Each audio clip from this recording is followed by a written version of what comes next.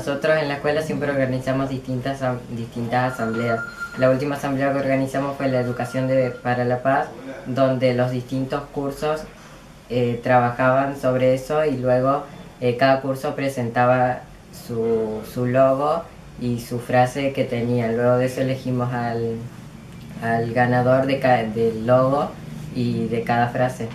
Eh, nosotros con la dirección estamos constantemente comunicados, eh, tenemos distintas, distintas formas, cuando nosotros queremos presentar alguna propuesta o algo, eh, la escuela siempre nos escucha. Tenemos al acuerdo escolar de convivencia, que es lo que vamos todos los años renovando, y para hacemos una jornada de una mañana para poder organizarlo y mostrar nuestras inquietudes al leer el acuerdo del año anterior.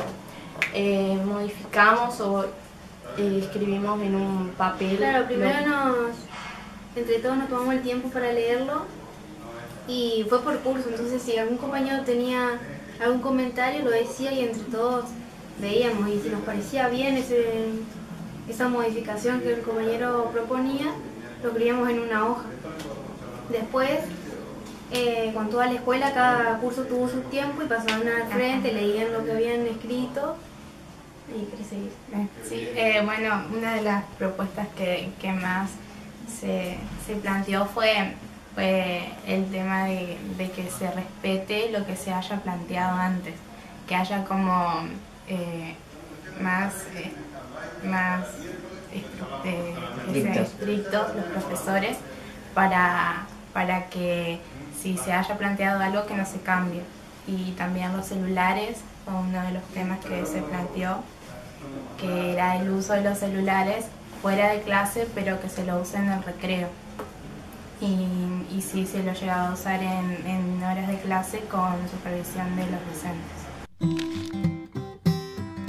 Nuestro intento fundamental desde la escuela o nuestro pilar fundamental es la convivencia, ¿no?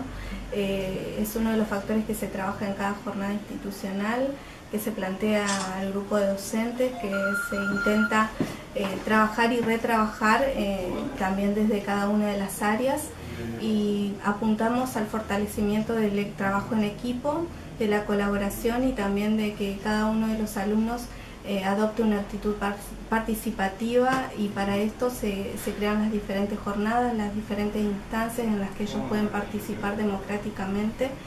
Uno de esos intentos que tuvimos durante el año pasado es la conformación del centro de estudiantes como una necesidad fundamental no solo por la propuesta desde eh, el Consejo General de Educación, sino como una necesidad interna de organizar a los estudiantes y de que ellos puedan ver lo importante que es que participen. Y también desde la institución se han trabajado diferentes proyectos, uno de ellos por ejemplo son las obras de teatro, que quizás los chicos lo ven como una instancia de participación más que propone la escuela, pero es más que eso, sino también el fortalecimiento de la convivencia, el poder ver cómo cada uno de ellos eh, ve eh, la necesidad de construir nuevos lazos, nuevos nexos y nuevos vínculos hacia dentro de la escuela. También eh, trabajamos muy abiertamente con las familias, siempre hacemos reuniones de padres y ante cualquier dificultad que surge convocamos a ellos para que nos puedan eh, decir si están de acuerdo o no con las decisiones que se van a trabajar al año próximo o durante el mismo año. Eh, en este año, por ejemplo, la propuesta es trabajar los valores, la convivencia y el fortalecimiento de las acciones políticas de los estudiantes y me parece que en función del trabajo en convivencia hemos avanzado muchísimo, como dijo Darío, es una escuela que se inició hace pocos años, que está creciendo y que se está nutriendo de estos eh, vínculos que se están generando y de los aportes de la comunidad educativa y también de la comunidad en general. Eh, se han generado también nexos eh, con otras instituciones, se han hecho jornadas, por ejemplo, en el camping municipal, donde nosotros nuestra razón fundamental era que los chicos vieran que no era una jornada en la que se dejaba de trabajar en la escuela para hacer nada, sino justamente para fortalecer la convivencia, para que los chicos puedan ver eh, lo importante que es eh, sentirse que uno está aprendiendo a pesar de que no está dentro de las paredes de, un aula. ¿no? Eh, y realmente nos ha motivado poder seguir haciendo estas propuestas las actitudes que ellos han tenido. Vemos que hubo un progreso enorme, no solo en ellos, también en el grupo de docentes, porque es todo un desafío. A veces ni siquiera nosotros los docentes podemos pensarnos una clase fuera del aula. Podemos a veces pensar eh, lo importante que es eh, el desarrollo, por ejemplo, de una obra de teatro y todo lo que potencian los chicos y también como una de las familias y a la comunidad en general. Así que me parece que hubo varios logros en relación a, la convivencia. Y muchos aspectos, lógicamente, que hay que mejorar y fortalecer, pero lo vamos aprendiendo con la misma experiencia.